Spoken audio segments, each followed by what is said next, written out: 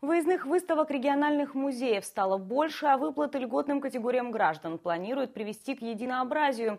Об этом и многом другом чиновники поговорили на очередном заседании правительства Мурманской области. Еще в 2012 году президент России подписал указ, согласно которому музеи должны увеличить выставочные проекты в два раза. В Мурманской области эту задачу намерены перевыполнить. В 15-16 годах только краеведческим музеем было организовано 77 выездных выставок, а художественный принимал экспозиции ведущих российских музеев. Уже по итогам 2016 года мы практически достигли базового показателя, который должны достичь в 2018 году. Напомню, это 206%. По итогам 2016 э, показатель увеличения выставочных проектов по отношению к 2012 году достиг 198%. Но, тем не менее, и в 2017 и 2018 году эта работа будет продолжена.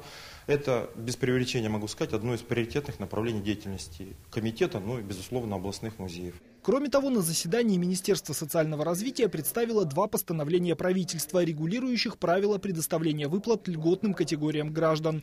Речь в них идет в том числе о ежемесячной жилищно-коммунальной выплате.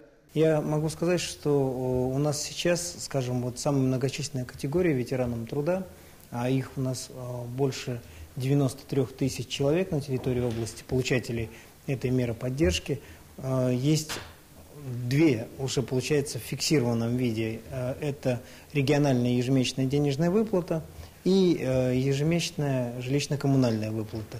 Мы поэтому приводим все порядки в соответствие, собственно говоря, для удобства людей, потому что, получая две этих меры поддержки, мы разработали единое правило – на заседании губернатор Мурманской области задала вопрос и о судьбе Мурманского областного драматического театра. Работой Министерства строительства глава региона осталась недовольна. Марина Ковтун отметила, что здание театра должно быть сдано в эксплуатацию до конца 2017 года.